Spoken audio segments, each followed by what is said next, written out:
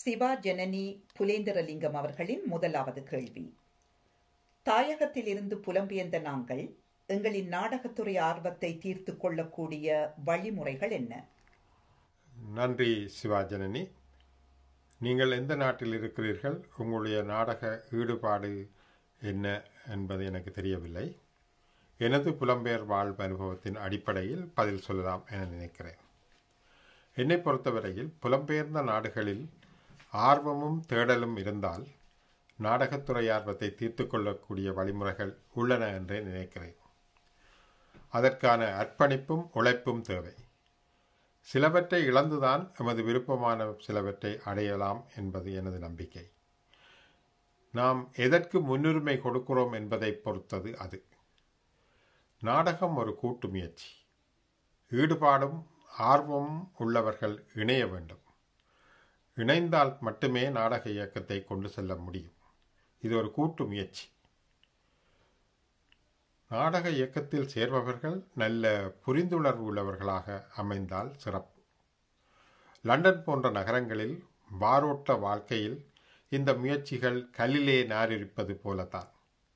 நேரம் சமன் பணம் என்ற சூழலில் நாடகத்துக்கு நேரம் செலவழித்து அதற்கு அது பிரயோசனமானது என்று சிந்திக்கும் கலை உணர்வு உள்ள ஆட்கள் வர வேண்டும்.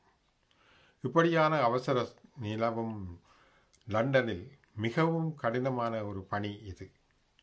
அந்த அர்ப்பணிப்புடன் கடின உழைப்புடனும் வலியுறுத்தி நாங்கள் வருகின்றோம். எண்பதுகளில் புலம்பெயர்ந்த எமது எனது எனது நாடக இயக்கம் ஒரு ஒரு பெரிய பிரச்சனையாகத்தான் முதலில் எமக்கு இது தெரிந்தது. ஒரு பெரிய சவால். தொடர்ந்து மிகவும் கடினமான உழைப்பு தேவைப்படுகிறது. அப்படித்தான் கடின உழைப்பின் மூலம் எமக்கென்ற ஒரு ரசிகர் கூட்டத்தை லண்டனில் வளர்த்தெடுத்தோம். ஆரம்பத்தில் இலங்கையில் எம்மோடு நாடகத்துறையில் பணிபுரிந்தவர்கள் ஓரிருவர் மட்டுமே அப்போது லண்டனில் இருந்தார்கள். அவர்களோடு சில புதியவர்களை இணைத்து நாடக இயக்கத்தை சிறிது அளவில் ஆரம்பித்தோம். பின்னர் தொடர்ந்து இயக்கத்தில் மூலம் சிறுக சிறுக ஆர்வமுள்ளவர்கள் எம்முடன் இணைந்தார்கள். பார்வையாளர்களும் அப்படியே.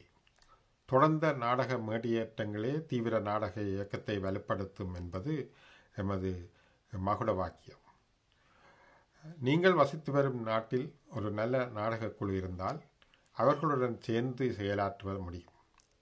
அல்லது ஆர்வமுள்ள சிலரை அழைத்து நீங்களே ஒரு அமைப்பை ஆரம்பிக்கலாம். அநேகமாக புலம்பெயர் நாடுகளில் உள்ள அந்தந்த மொழியை நீங்கள் நன்றாக பேச முடியும் புரிந்து கொள்ள முடியும் என்றால் அந்த மொழிகளில் அங்கு நிகழும் நாடகங்களை தேடி பார்த்து ரசிக்க முடியும். ரசிக்க வேண்டும்.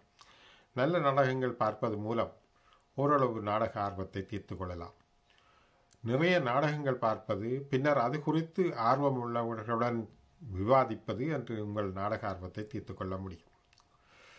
என்னை பொறுத்தவரையில் லண்டனில் ஆங்கில மொழியில் ஆற்றுகை செய்யப்படும் நாடகங்களையும் வேறும் பிற நாடுகளிலிருந்து இங்கு வந்து நிகழும் அரங்க நிகழ்வுகளையும் தேடிப்போய் பார்ப்பதை வழக்கமாக வைத்துள்ளேன். எனது மாணவர்களுக்கும் நான் இதனையே வலியுறுத்தி சொல்வது வழக்கம். லண்டனில் நடந்த எமது நாடக விமர்சனம் ஒன்றில் ஊடகர் தயானந்தாவின் கூற்றியது உயிர்ப்பு மிக்க அரங்க கலைஞர்களும் ஆளுமை மிக்க மூத்த படைப்பாளிகளும் புலம்பெயர்ந்து வாழ்கிறார்கள். அவர்கள் மனதிலும் ஆர்வமும் ஆசைகளும் சாகாது இருக்கின்றன. ஆனாலும் கானா பாலேந்திரா போன்ற ஒரு சிலரால் மட்டுமே தடைகளையும் சில சந்தர்ப்பங்களில் ஏற்படுகின்ற மான அவமானங்களையும் தாண்டி செயற்பட முடிகிறது என்று கூறியுள்ளார்.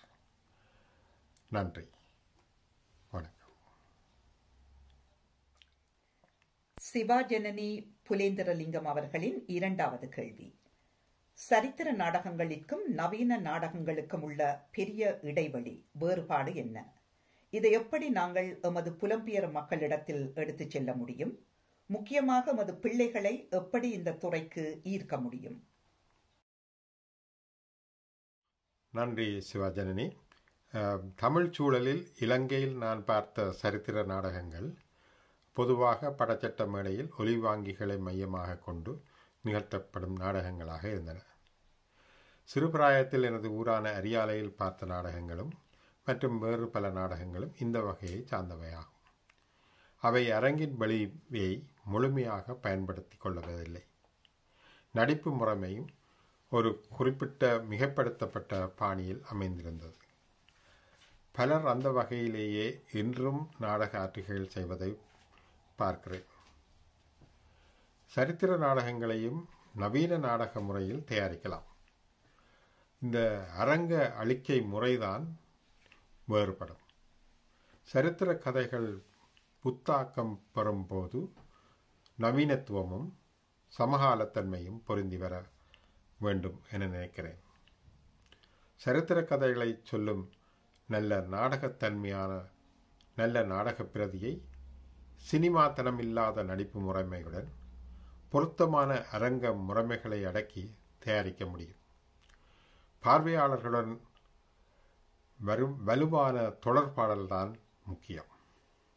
சரித்திர கதைகளை சொல்லும் ஷேக்ஸ்பியர் நாடகங்கள் பல இப்போது நவீன உடை அமைப்பில் சமகால கருத்துக்களை பிரதிபலிக்கும் வழியில் தொடர்ந்து லண்டனில் தயாரிக்கப்பட்டு வருகின்றன.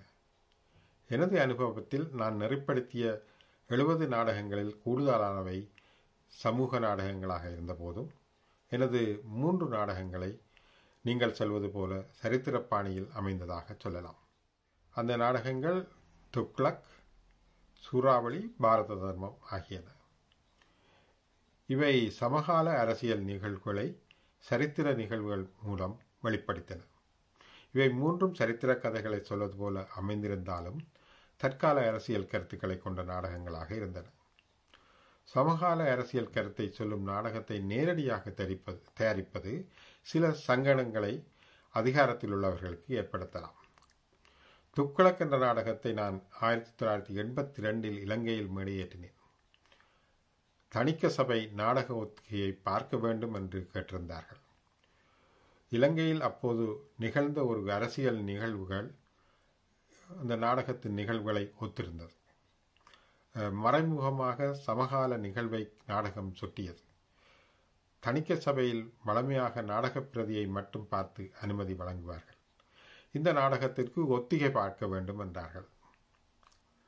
இது சமகால கருத்தை சொன்ன பொழுதும் ஒரு சரித்திர கதையை சொல்கின்றது என்ற சரி என்று சொல்லி சரித்திர நூல்களை எல்லாம் கொண்டு போய் காட்டி அனுமதி பெற வேண்டியிருந்தது.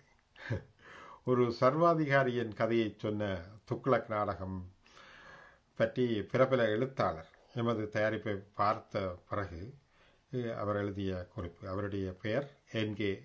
ரகுநாதன். அவர் கூறிய கருத்தை அப்படியே தருகிறேன்.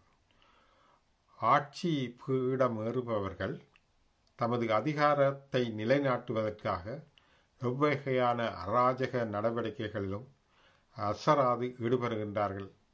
ஆனால் அராஜகத்தை அகற்ற பாடுபடுவதாக தொண்டர்களிய குரல் எழுப்புகிறார்கள். தமது சாணக்கியத்தை தாமே மெச்சுகிறார்கள். ஆனால் தங் மக்களுக்காக ஆட்சி நடத்தாத மாமன்னர்கள் அனைவரதும் முடிவு எல்லா காலத்திலும் ஒரே மாதிரியாகவே அமைந்து விடுகின்றது. துக்குளக் நாடகம் இதனையே இடித்து காட்டுகின்றது என்று அவர் எழுதியிருந்தார். சூறாவளியும் பாரத தர்மமும் புலம்பெயர்ந்த நாடுகளில் வெளியேற்றப்பட்டவை. சூறாவளி நாடகம் கூத்து வடிவில் அமைந்த உடையமைப்பு முகமூடிகள் பயன்படுத்தப்பட்ட ஒரு நாடகம். லண்டனில் முதல் முதலில் தமிழில் மேடியேற்றப்பட்ட ஷேக்ஸ்பியரின் நாடகம். அவருடைய டெம்பஸ் நாடகத்தின் தழுவலாக பேராசிரியர் இந்திராபாத சாரதி அவர்கள் தமிழில் எழுதியிருந்தார். லண்டனில் பிறந்து வளர்ந்த இளையவர்கள் மேடையில் தோன்றி நடித்தனர். கடந்த முப்பது வருடங்களுக்கு மேலாக சிறுவர்கள் இளையோர் நாடகங்களை தயாரிக்கும் இந்த பணியில் கூடிய அக்கறையுடன் நாங்கள் செயல்பட்டு வருகிறோம். லண்டனில் பதினேழு வருடங்களாக தமிழ் நாடக பள்ளியின் ஒன்றினையும் நடத்தி வருகின்றோம் எனது மனைவி ஆனந்தராணியும் நானும் இதனை செய்து வருகின்றோம். சுருக்கமாக சொல்வதானால் பின்வரும் முறைகளில் இளையவர்களை எங்களுடைய நாடக நாடகத்தில் ஆர்வத்தை ஏற்படுத்துமாறு சொல்வதற்கு மூன்று நான்கு புள்ளிகளை நான் சொல்லலாம் நினைக்கிறேன். பிள்ளைகளின் வயதுக்கு ஏற்ற நாடக பிரதிகளை தெரிவு செய்ய வேண்டும். நாடகப் பிரதியில் அது சொல்லும் கதைகளில் அவர்களுக்கு ஒரு ஈர்ப்பு வர வேண்டும். மற்றது நாடக பயிற்சியின் போது அரங்க விளையாட்டுக்கள் மூலம் அவர்களுக்கு ஆர்வத்தை ஏற்படுத்த முடியும். அவர்களுக்கு பொறுப்புகளை கொடுப்பது போது கொடுக்கின்ற போது அவர்கள் ஆர்வத்துடன் ஈடுபடுவதை ஈடுபடுவதை நான் கண்டுள்ளேன். இந்த மூன்று நான்கு விஷயங்களை அவதானித்து செய்கின்ற பொழுது இ- இளையவர்களையும் சிறுவர்களையும் நான் தமிழ் நாடகத்துறையில் ஈர்க்கலாம் என்பது என்னுடைய கருத்து. நன்றி.